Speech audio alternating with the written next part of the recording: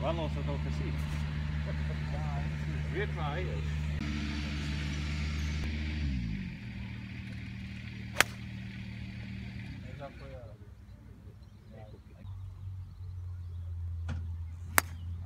Nog een, nog. Weet je dat je speelt die senior open? Camera's is op je als kare. Oh, die bout is lang aan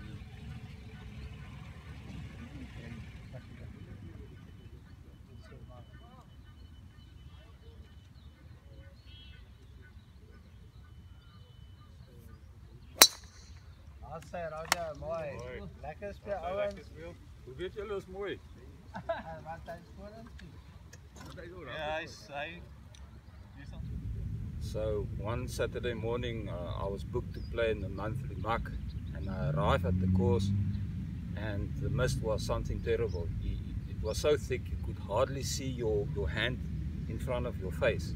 Uh, visibility was not more than five meters, and uh, now now you know it's it's a decision that you must make um, play or to cancel.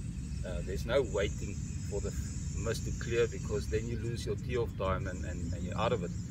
Um, and, and this particular day, I was uh, booked with my uh, friends uh, Congo, Louis, and Wynand.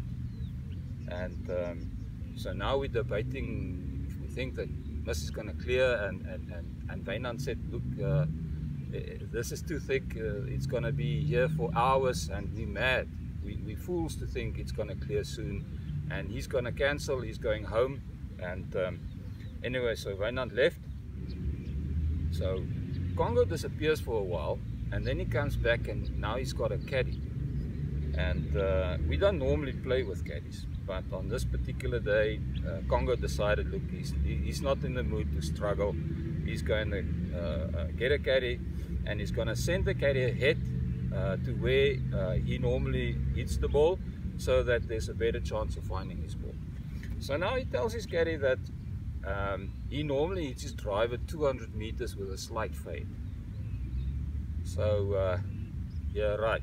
Uh, Congo, uh, he's got this massive over the top move in his swing, and um, and that creates a big banana slice to the right, and and um, he, he, always slices the ball, uh, and he never hits the ball further than 175 meters. So in the first place, he's sending his caddy to the wrong place.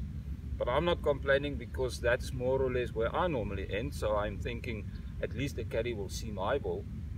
And uh, anyway, so the caddy goes ahead, and um, and then uh, it's Louis that's now teeing off, and uh, and Louis swings at the ball, and I can't see where the ball. Nobody can see where the ball goes. The visibility is just too poor. But uh, Louis turns to us and he says, ah, that's 250 meters down the middle of the fairway. So yeah, it's possible. He's a good player. He hits the long ball. And uh, I'm next. And uh, and I hit not a good swing. Uh, bit doughy.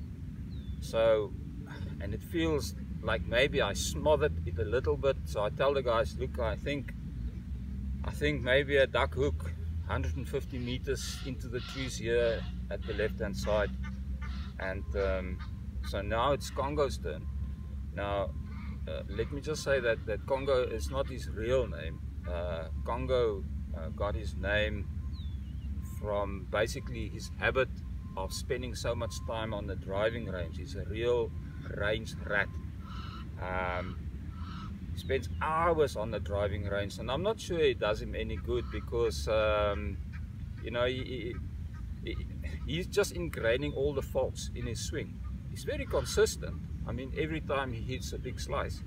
Um, but in any event um, so and, and Congo himself he always complains that um, that he's hitting the ball so well on the on the range and um, and then so poorly on the golf course he cannot understand it and and, and it's um, you know he's, he's complaining about it always So we started calling him the driving range champ.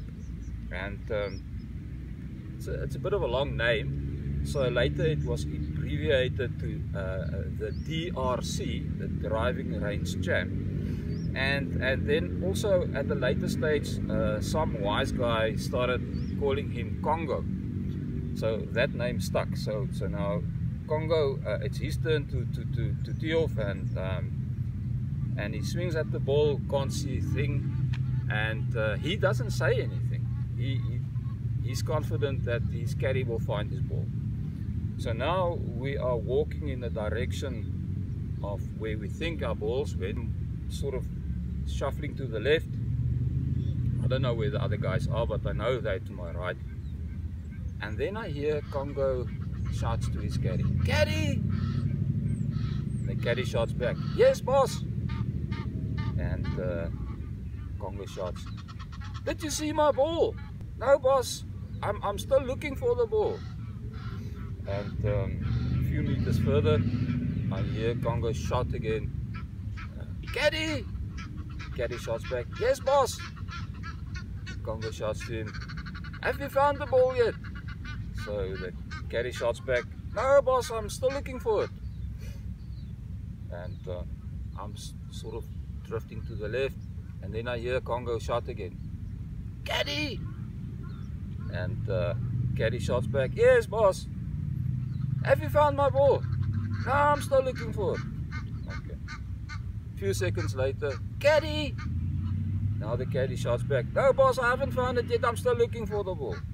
Now I hear Congo shouts, No, man, forget the ball. Come and look for me. I'm lost. uh,